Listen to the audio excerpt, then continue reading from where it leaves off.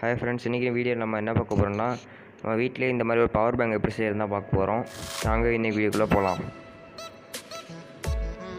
First உங்களுக்கு கொஞ்சம் wire தேவைப்படும். அதுக்கப்புறம் seven eight zero five IC தேவைப்படும். செவன் எயிட் ஜீரோ ஃபைவ் அதுக்கப்புறம் ஒரு ஃபீமேல் யூஎஸ்பி தேவைப்படும். அதுக்கப்புறம் ஒரு HW battery nine watt battery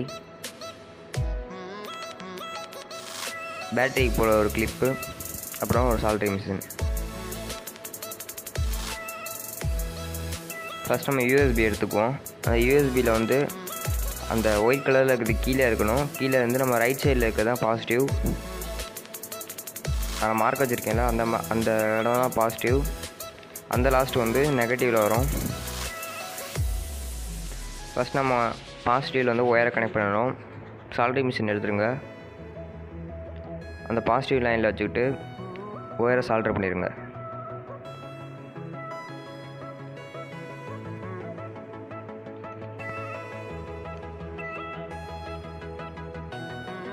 இப்போ பாசிட்டிவ் சால்ட்ரு பண்ணியாச்சு. இப்போ நெகட்டிவ் லைனில் வந்து இன்னொரு ஒயர் வச்சு சால்ட்ரு பண்ணிடுங்க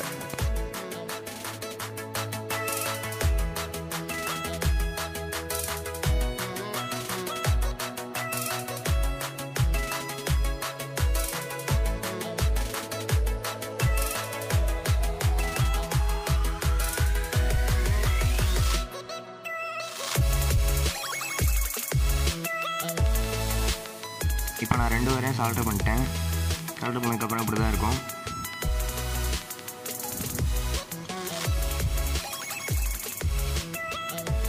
அதுக்கப்புறம் செவன் ஜீரோ ஃபைவ் ஐசி எடுத்துக்கோங்க.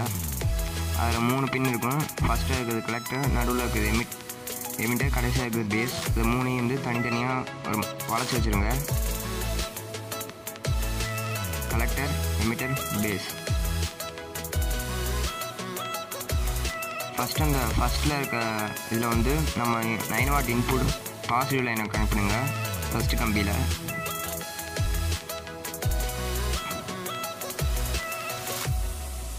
நடுவில் இருக்கிறது வந்து நைன் வாட் இன்புட் நெகட்டிவ் லைனை வந்து நடுவில் கனெக்ட் பண்ணுங்கள் இது மாதிரி தான் கனெக்ட் பண்ணணும். அதுக்கப்புறம் யூஎஸ்பியோட பாசிட்டிவ் வந்து அந்த கடைசியாக இருக்க பின்னில் கொடுங்க. யூஎஸ்பியோட பாசிட்டிவ் லைனை வந்து கடைசியாக இருக்க பின்னில் கொடுக்கணும்.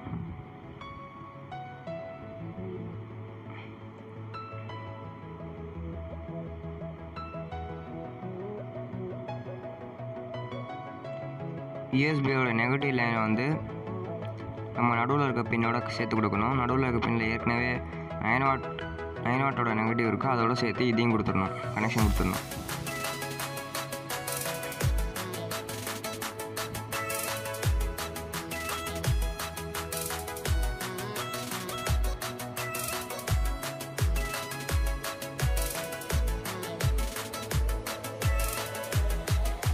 பண்ணதுக்கப்புறம் உங்களுக்கு இப்படி தான் இருக்கும் கனெக்ஷன்லாம் கரெக்டாக இருக்கான் பார்த்துங்க எதுவும் டச் ஆகிடக்கூடாது அதாவது ஃபஸ்ட்டில் இருக்குது செகண்ட் மாறி மாதிரி டச் ஆகிடக்கூடாது டச் ஆச்சுன்னா ஷார்ட் ஆகிடும் அதுக்கப்புறம் கார்ட்போர்ட் எடுத்துருங்க. கார்ட்போர்டு நான் சொன்னேன் இதில் காட்டியிருக்க சைஸில் வந்து எடுத்துருங்க. மார்க் பண்ணிடுங்க.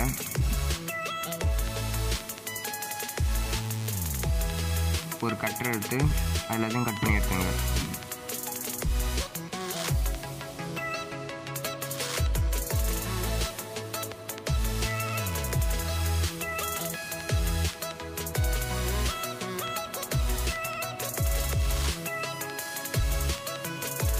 கட் பண்ணி எடுத்துட்டேன்.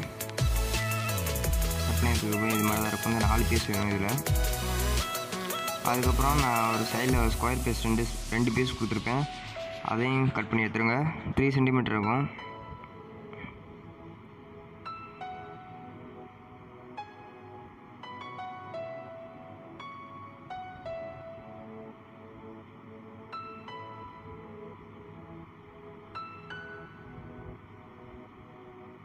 அதை கட் பண்ணி எடுத்ததுக்கப்புறம் ரெண்டு ஸ்கொயர் பீஸ் உங்களுக்கு கிடைக்கும். த்ரீ சென்டிமீட்டர் நாலு சைட்லேயும்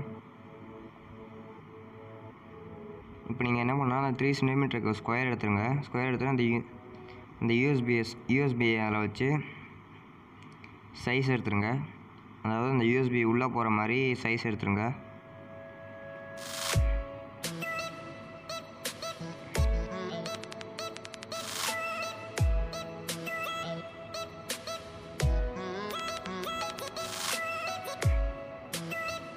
அதை கட் அதை நடுவில் இருக்க அந்த பீஸ் வந்து கட் பண்ணிடுங்க நம்ம யூஎஸ்பி ஃபீமேல் யூஎஸ்பி வந்து அதுக்குள்ளே நல்லா ஃப்ரீயாக போயிட்டு வரணும். இந்த மாதிரி போயிட்டு வரணும். இப்போ நீங்கள் வந்து அந்த இந்த ரெக்டாங்குலர் பீஸ் எடுத்துங்க. ரெக்டாங்குலர் பீஸ் வந்து சைடில் வந்து கொஞ்சம் ஒரு எக்ஸ்ட்ரா பீஸ் மாதிரி இருக்கும். அதை லைட்டாக ட்ரிம் பண்ணி விட்ருங்க ஏன்னா வந்து நம்ம நாலு பீஸ் வைக்கிறனால அந்த இடம் ஒரு தனியாக தெரியாமல் இருக்கும். ஒரு ஸ்மூத்தாக இருக்கும். அந்த ஸ்கொயர் பீஸில் வந்து ரெண்டு ஸ்கொயர் பீஸ் அந்த மாதிரி விட்டுருங்க அப்புறம் ரெண்டு ரெண்டு ரெக்டாங்குலர் பீஸ் விட்டுங்க ஒரு ரெண்டு ரெக்டாங்குலர் பீஸை அப்படியே விட்ருங்க அப்புறம் நீங்கள் யூஎஸ்பி எடுத்துருங்க. யூஎஸ்பி எடுத்துக்கிட்டு அந்த யூஎஸ்பிலையும் அந்த யூஎஸ்பியோட கார்போலையும் க்ளூகனை க்ளூகனை தடவி உள்ளே வச்சு ஒட்டிடுங்க.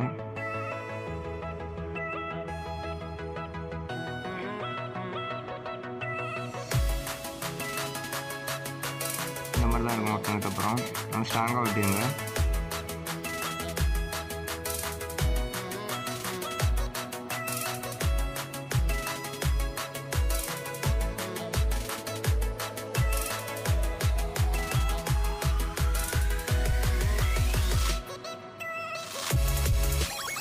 யூஎஸ்பி விட்டதுக்கப்புறம் இன்னும் ஸ்கொயர் பீஸ் இருக்கும் அந்த ஸ்கொயர் பீஸில் வந்து சாரி ரெக்டாங்குலர் பீஸ் அந்த ரெக்டாங்குலர் பேஸில் வந்து ரெண்டு ஓட்டையை போட்டுருங்க. ஓட்டையை போட்டு அந்த நம்ம நைன் வாட் பேட்டரியோட கிளிப்பை வந்து அதில் உள்ள உள்ளே போகிற மாதிரி அந்த கிளிப்போட ஒயர் வந்து உள்ளே போகிற மாதிரி ஓட்டையை போட்டுருங்க.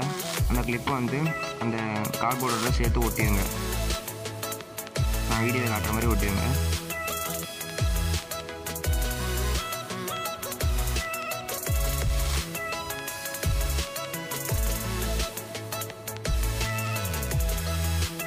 அந்த ஒயரையும் விட்டுருங்க. ஏன்னா ஒயர் சொன்னது நேரத்தில் பிஞ்சிட்டு வரும். அதனால் அந்த ஒயரையும் விட்டுருங்க. இப்போ வந்து நம்ம ஏற்கனவே சால்ட்ரு பண்ண மாதிரி அந்த மாதிரி சால்ட்ரு பண்ணுங்கள் ஏன்னா நான் ஏற்கனவே சால்ட்ரு பண்ணிட்டேன். அதை வந்து சரியாக பா நம்ம கார்ட்போர்டுக்குள்ளே வைக்கிறனால வெட்டிட்டு திருப்பி சால்ட்ரு பண்ணுறேன் ஒரு தடவை நல்லா பார்த்துருங்க அதையும். ஒயர் சின்னமாக வாங்கி ஏன்னா கார்ட் பாக்ஸுக்குள்ளே வைக்கல. ஒயர் நீட்டாக வச்சா சில ஷார்ட்டாக ஷார்ட் ஆக வாய்ப்பு இருக்குது அதனால் கொஞ்சம் ஒயர் சின்னமாக வச்சுருங்க. இந்த மாதிரி சால்ட்ரு பண்ணியாச்சு. இப்போ எல்லாமே ஷால்ட்ரு பண்ணியாச்சு. இப்போ வந்து இன்சுலேஷன் டேப் எடுத்துருங்க. இன்சுலேஷன் டேப் எடுத்து அதை ஒரு சைஸுக்கு வெட்டி அதை ரெண்டாக நடுவில் வச்சு ரெண்டாக வெட்டிடுங்க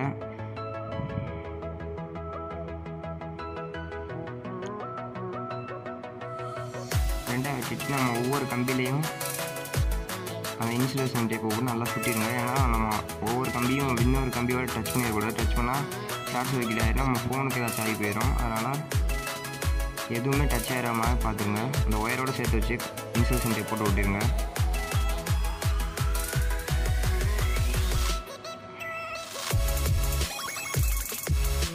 மூணு மூணு கம்பிலையும் ஒட்டியாச்சு. இப்போ நம்ம கனெக்ஷன்லாம் ரெடி ஆச்சு நம்ம பாக்ஸ் அட்டாச் பண்ணுறது தான் ஃபஸ்ட்டு அந்த ஸ்கொயர் பீஸும் ரெக்டாங்குலர் பீஸும் எடுத்து ஒட்டிடுங்க நான் வீடியோவில் காட்டுற மாதிரி எல்லா பீஸையும் சேர்த்து ஒட்டிடுங்க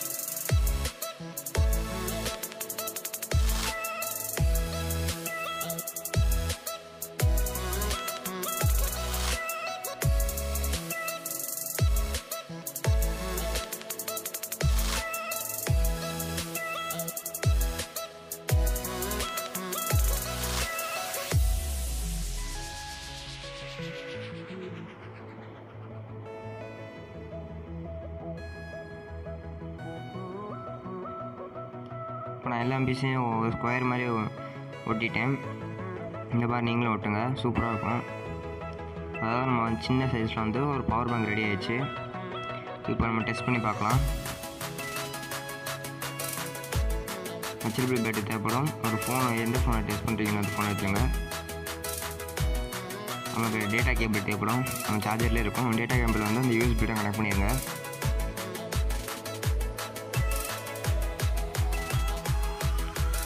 டேட்டா கேபிளோட இன்னொரு எண்டை வந்து நம்ம ஃபோனில் கனெக்ட் பண்ணிடுங்க